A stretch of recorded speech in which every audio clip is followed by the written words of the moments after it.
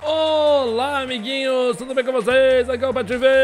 Sejam muito bem-vindos a mais um vídeo. Pessoal, estamos aqui sempre para mais um vídeo desse jogo incrível que é Yu-Gi-Oh! Duel Links no meu lado direito para você está aqui essa linda da Maga Negra, a nossa massacote aqui, né, do Yu-Gi-Oh! E do lado direito está aqui os joguinhos que estamos jogando.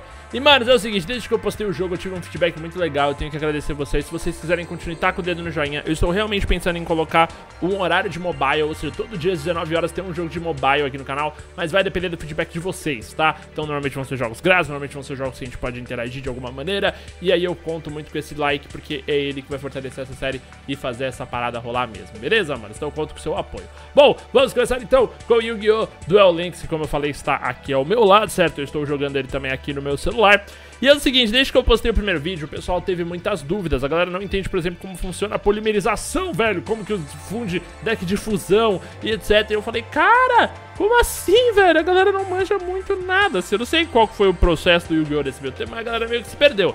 Então eu estou aqui para ajudar vocês nesse vídeo que vai ser um guia definitivo para você começar no Yu-Gi-Oh! Duel Links, ok? Eu espero que essas dicas ajudem. Eu sou um cara que jogava Yu-Gi-Oh! antigamente, eu não joguei nos últimos anos, então talvez as minhas, as minhas dicas sejam meio, sejam meio antiquadas, mas eu acredito que para isso aqui vai ajudar, porque eu estou mandando até aqui bem nesse joguinho, apesar de estar muito no começo, beleza? Bom, primeiro de tudo, você baixando o jogo que é de graça para iOS para Android, você jogando, abre essa caixinha de presente, tá aqui em cima, onde estaria tá os quadradinhos, ó, aqui é a caixinha de presente, abre ela, pega todos os presentes, vai nas suas mensagens, lê direitinho como é que tá de manutenção e eventos e tal.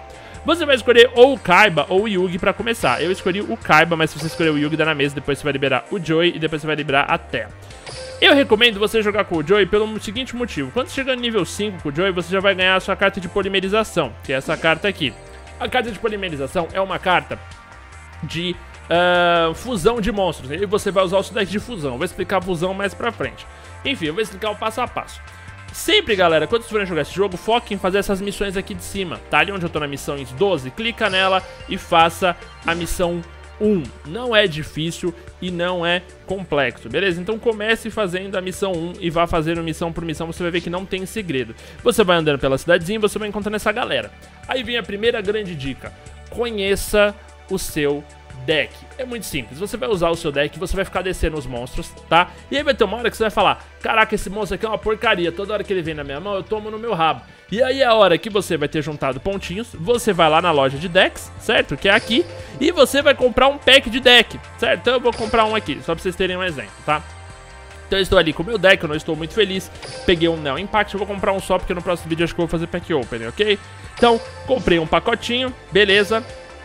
Aí veio o meu pacotinho, eu vou abrir algumas cartinhas do meu pacotinho. Beleza? Apareceu o bichinho, clicamos pra abrir. Apareceu o Ciclone Destruidor. Ele tem muitas estrelas ali em cima, né? Que de bater o olho aqui, acho que são oito. E ele tem um efeito. Leia o efeito, conheça o card, vê se ele se encaixa. Hoje não encaixa mais card. Ó, ele até se encaixa no meu deck. Destrua todos os monstros virados para baixo, bem como todos os monstros que não sejam de vento. Ele funciona porque meu deck é de vento, já vou explicar pra você. Veio a Alma das Sombras também, que é um bicho fortinho. E veio a Arma de Ritual. Só pode ser que bate um monte de ritual nível 6 ou menos, ele ganha com isso 1500 de ataque. Nossa, isso é uma carta bem maneira mesmo. Se eu tivesse um deck de ritual. Eu não tenho um deck de ritual, então não é algo que a gente vai encanar. Quando você veio aqui, ah, comprei as cartas e tal. Aí você vai no seu editor de deck, certo? Então eu vou usar como base, eu tô usando o deck do Joey, é meu deck ativo, mas eu vou fazer com o deck da Teia, ok? Porque eu acho que aí vai ser melhor pra gente se guiar. Eu vou até aumentar um pouquinho a câmera aqui pra gente ficar mais próximo, mais unido, mais amigos. Aqui está o deck da Teia, certo? Então esse é o deck dela. A carta principal dela é a pequena maga negra, ou seja, a gente tem que pensar que quando a gente descer essa bichinha, o bagulho vai estar tá louco pro lado do nosso adversário. E aí começa a vir as cartas. Tem a amizade radiante, tem duas amizades radiantes, tem três amizades radiantes no deck dela, tem o Tyrone, a gente vai descendo. Tem a fada bruxa, e tudo bem. A fada bruxa, por exemplo, é uma carta merda. Por quê? Ela pede três, uh, três estrelas, né? Ou seja, ela não pede summon pra entrar. O que é o summon? Você precisa sacrificar alguns monstros pra colocar outros monstros mais fortes. Então, monstros de 5 e 6 estrelas ali em cima, você precisa de um summon. 7 e 8 você precisa de dois. Então, no caso da Maga Negra, ela tem 6. Ela precisa de um sacrifício. Você já precisa ter um monstro no campo de uma rodada anterior pra você descer ela, sacrificar aquele monstro e ela entrar. Ok? Este é o grande X do, do Yu-Gi-Oh! É a parte do sacrifício. Então você precisa ter bons monstros iniciais para você se manter ganhando, certo? No caso dela, o Amizade Radiante é um monstro razoável por 4. Quando você for jogando muito, vai hora que os monstros que você tem são um pouco, são pouco efetivos. E aí a hora que você vai pegar uma fada bruxa, por exemplo, e falar, mano, esse bicho é uma porcaria, e você vai editar esse deck, certo? Então a gente vai abrir aqui a maga bruxa, que eu acho uma porcaria, e eu vou tirar um, dois, três. Ok, tirei todas as três fadas bruxas que tinham, porque ela é péssima. Então eu tirei três monstros de três estrelas. Quando você for estruturar o seu deck, é bacana que você tenha em mente que você pode fazer qualquer estrutura, quantas armadilhas, quantas mais você quiser. E eu vou dar uma estrutura básica aqui agora, tá? Não é regra, não é o melhor deck que você vai achar, mas tenha na sua mente. Tenta manter uns Vamos tentar manter 20 cartas, porque o jogo é rápido. Você não quer ter mais do que 20 cartas, porque senão as cartas que você quer não vão chegar na sua mão. Então a sua meta é deck de 20 cartas. Porra, 21 pode ter, Patife? Pode. 22, 23? Pode. Muito mais que isso vai dar merda, porque a carta que você quer nunca vai chegar na sua mão, ok? Então, agora eu tenho 17 cartas, esse deck nem sequer está utilizável. Eu tirei 3 monstros de 3 estrelas. Eu posso substituir ela por 3 monstros de 4 estrelas. Não vai ser um prejuízo tão grande. Então a gente vai filtrar aqui, certo? Você vai filtrar as cartas por nível, do alto pro mais baixo. Aqui a gente tem, por exemplo, um dragão branco de olhos azuis que pede dois sacrifícios que não vai encaixar no meu deck. Eu preciso de cartas que vão ser sacrificadas, certo? Então eu vou olhar para minhas cartas que aqui tenham, como vocês estão vendo, quatro estrelas, certo? Ou seja, desse brother aqui para trás, da Amazon Hostil para trás, essa carta não precisa de sacrifício. E ela é muito forte, certo? E aí, ela, você oferece um dos monstros do campo como tributo durante cada uma das fases de apoio. Então ela é um bicho que se você colocar, você tem que ficar sacrificando monstros ao lado dela pra ela continuar lá. Ela é um bicho de 4 estrelas forte? É, mas o efeito dela é meio chato. A gente quer um negócio mais básico. A amizade radiante a gente já tem. A ampulheta da coragem tem um efeito meio chato também. E aí você vai olhando carta por carta e você vai montando. Por exemplo, temos aqui um monstro que tem 1500 de defesa. Com 1500 de defesa, você vira ele pra baixo e na rodada seguinte você já consegue sacrificar ele. Então é isso que você tem que ter em mente, certo? Mas, por exemplo, bloqueador é muito legal. Você pode oferecer ele como tributo, é um monstro legal. A cabelo de cobras é uma carta muito bacana. Porque ela tem 1500 de ataque, que é um ataque bacana, pra uma carta que não exige tributos. E ela é bacana, vou colocar ela então. Coloquei uma, ainda preciso colocar mais dois. Esse aí é ritual, esse é o demônio do elemento, ele é legal também, ele tem 1500 de ataque. E vamos colocar mais uma carta qualquer. Vai, é, é, é, vamos colocar um bicho que tenha defesa. Ó, oh, não, vamos colocar a espada do jacaré. Dane-se, eu vou só colocar sem pensar. 1500 de ataque. Beleza, então. Substituímos três cartas porcaria por três cartas melhores. Aí você vai lá e repete esse processo, porque tem mais monstro porcaria. Ó. Tipo, isso aí, 1200 de ataque não faz sentido, certo? Então você tira ela, e você vai lá e substitui por três cards mais fortes do que ela, certo? Que não é difícil de achar aqui também não, a gente já tinha até passado por alguns e a gente ignorou. Então vou colocar essa minazinha aqui que tem 1500 de defesa, uh, vamos colocar esse brother que tem 1500 de defesa e eu vou pegar alguém que tem um ataque mais alto. Vamos lá, vamos lá, o Fire Arrow não. Quando essa carta entra em batalha contra o monstro da luz, ganha 200 pontos de ataque durante a etapa de dano. Ó, oh, esse tem 1600 de ataque, ele é interessante, então vamos colocar ele também. Só nisso, você já tá melhorando seu deck. Você vai usando o seu deck e você vai começar a ver que tem algumas cartas que tem alguns efeitos muito bacanas. Por exemplo, eu coloquei um desse aqui no campo, que é o... Não, não é o Typhone, é aquele demônio, é esse aqui. Esse demônio do elemento é uma carta muito bacana, eu tô gostando muito de usar ele. Por quê? Quando ele tem algum companheiro do tipo vento em campo, ou seja, tem mais um Pokémon que o tipo ali em cima, no canto direito superior, seja vento, por exemplo, o Typhone. Deixa eu ver se eu acho o Typhone aqui de novo. O Typhone é esse aqui. Ele é tipo vento. Então se eu tiver o Typhone em campo e eu descer esse bicho e eu destruir uma criatura com ele, quer dizer que ele vai ganhar mais um ataque. Tá? Então já é uma carta interessante. Você fala, caramba, ele vai ter dois ataques. Eu posso destruir o monstro e dar um dano de 1500 direto na cara dele. Sem contar que o Typhone vai estar em campo. Então o Typhone vai dar mais 1200. Se o cara tiver um monstro e tiver os dois, eu vou conseguir limpar às vezes o campo e dar muito dano na cara dele. Tá? Vocês vão entender isso no meu deck. Então eu já sei que o demônio do elemento, pra ele ser legal, funcionar, ele tem que entrar com um monstro do tipo vento, por exemplo, o Typhoon, tá? Uh, e aí, por exemplo, é do tipo trevas, ok. E aí, então a estrutura que eu falei. Tenta montar um monstro muito bom, aqueles que exigem dois sacrifícios, então, por exemplo, um dragão branco, você pode colocar. Uh, um monstro muito bom. Tenta colocar uns dois ou três monstros que peçam um sacrifício, tá? A princípio, depois você pode ir mexendo nisso aí, mas aí você já vai conhecer melhor o seu deck. Então, coloca dois, três, uns três monstrinhos que peçam um sacrifício e o resto de monstros sacrificáveis. Coloca umas três cartas de magia e umas duas de armadilha, tá? A armadilha é a rosa, você vira para baixo, você ativa em circunstância. E a magia tem, por exemplo, essa espada, da, essa espada sombria da destruição. Eu vou colocar essa espada sombria porque ela equipa monstros do tipo trevas. E aquele meu bicho que dá dois ataques se tiver um bicho de vento, ele é do tipo trevas. Então vai ser interessante sair com essas duas cartas na mão. E aí, você vai pensando em carta por carta como que elas se comunicam comunicam até você montar um deck todo que se comunica, certo? Então eu vou salvar o deck da Teia, mas eu não vou usar o deck da Teia porque eu não arrumei ele inteiro, ele ainda tá meio merda. Vale a pena até testar depois, mas não é o que eu quero fazer. Eu estou usando o deck do Joy, um deck de vento com o Joy. Então vocês vão ver a minha composição de deck agora. Eu tenho o Kazejin, ele pede dois sacrifícios, ele é bem fortinho. Ele tem uma, um combo legal depois com uma carta especial, mas não é o ponto. Eu tô usando ele só porque ele é forte. Tá, mas eu não organizei por... Eu acho que eu organizei certinho. Não, tá desorganizado meu deck. Então, beleza. Então, o Kazejin é uma das minhas cartas muito fortes que pede dois sacrifícios. Eu tenho também o Dragão Negro de Olhos Vermelhos. Eu tô mantendo ele aqui porque eu tô tentando montar uma carta de fusão com a polimerização, mas é que eu ainda não tenho ela. A carta, né? Que é o Dragão Meteorito, que depois eu mostro ele. Eu quero o Dragão Negro, depois eu preciso do Dragão Meteorito, eu tenho ele, mas eu quero o final. Então, esse é meu deck. Ele é muito baseado em vento, então ele tem o Pássaro da Fé, que é vento, ele tem o Dragão Filhote, que é vento, ele tem o... Cadê o brother lá? Ele tem esse bicho aqui que comba com vento.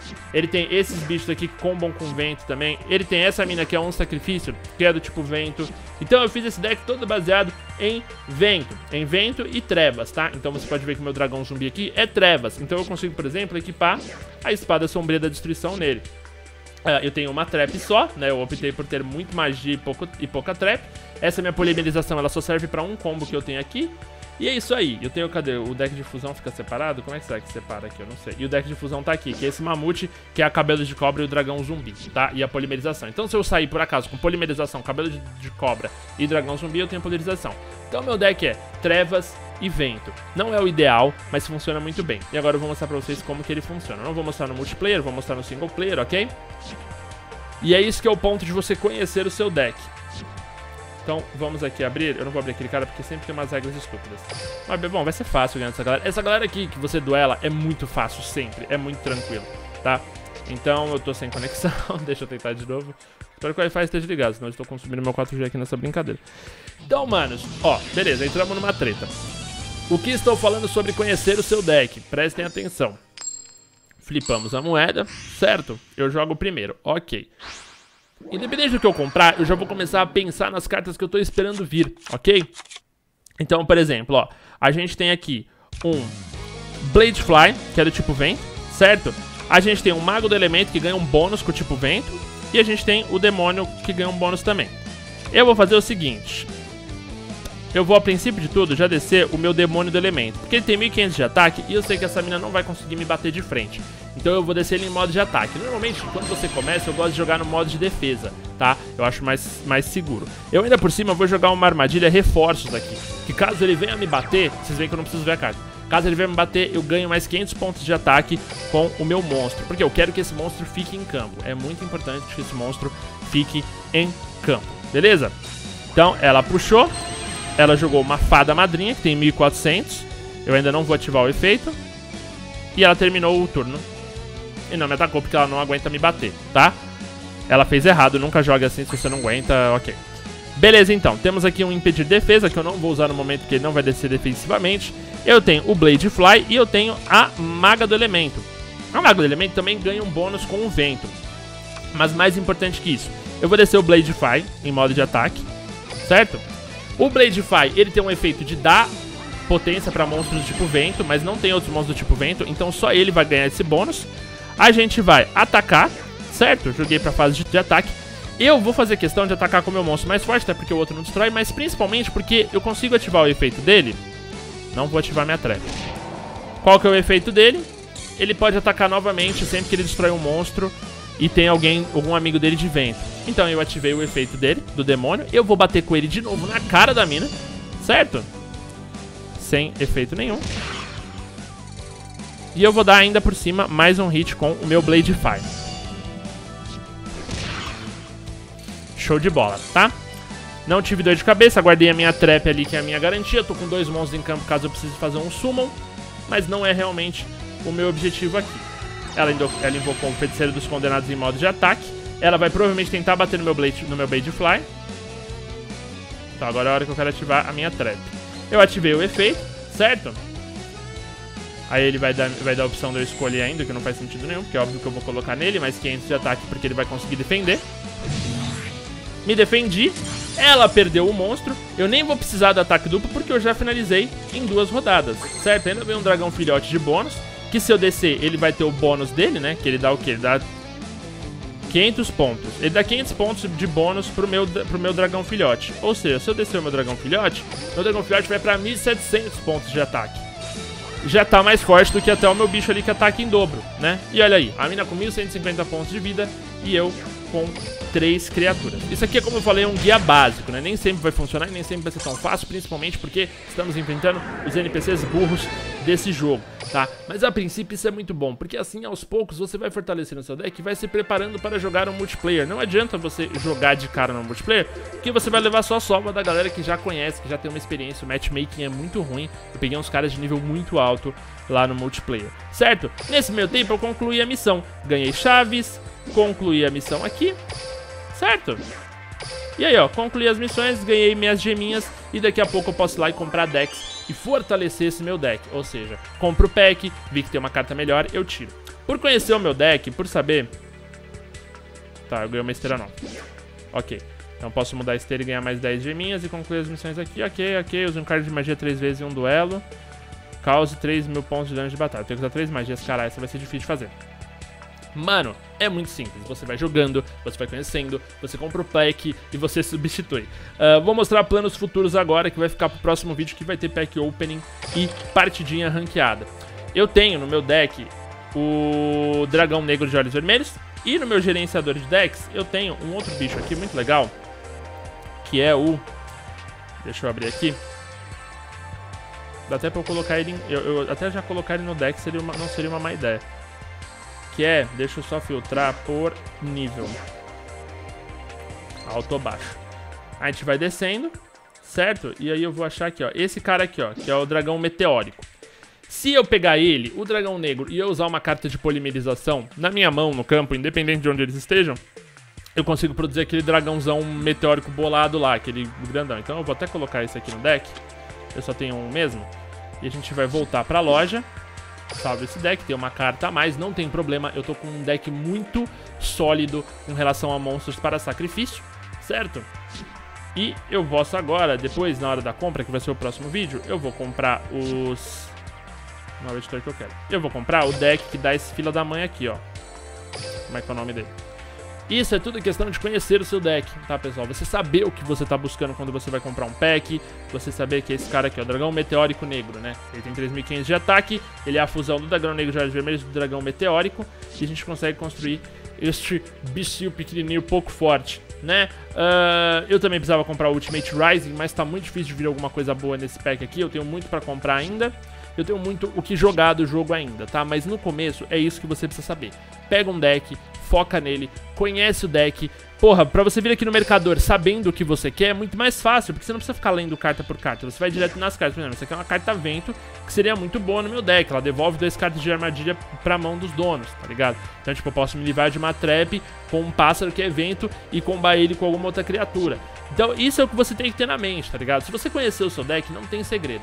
Pega o deck básico, vai jogando, comprou um packzinho, veio uma carta melhor, substitui alguma sua daquelas ruins, daquela que você não gosta e coloca uma melhor, vai melhorando o seu deck progressivamente e aí você vai upando, principalmente no single player, antes de você ir lá e encarar o multiplayer, beleza? Eu já vou emendar essa gravação e já vou gravar um pack open, então não perca o próximo vídeo, provavelmente vai ter otimização do deck do Joy. Eu também tenho um deck pronto com o Kaiba, mas oficialmente o meu deck com o Joy é meu favorito, tanto que o Kaiba parou no nível 10, tá? Uh, e o Joy tem algumas recompensas ainda de nível que me interessa muito. Foca nessas recompensas de nível também, então eu também quero o Dragão Espada do Jacaré, que não é difícil de fazer, que são duas cartas que dá pra ter lá no meu deck, que vocês viram que eu tenho as duas. É só usar a polimerização e desce mais um bicho de vento muito interessante, né? Então é isso que você tem que ter na mente. O Mago do Tempo é outro que eu quero também, porque dá pra combar com aquele dragão bebê também.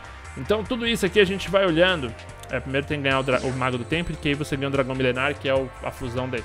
Enfim, manos, é só jogar. Joga o joguinho devagar, etapa por etapa.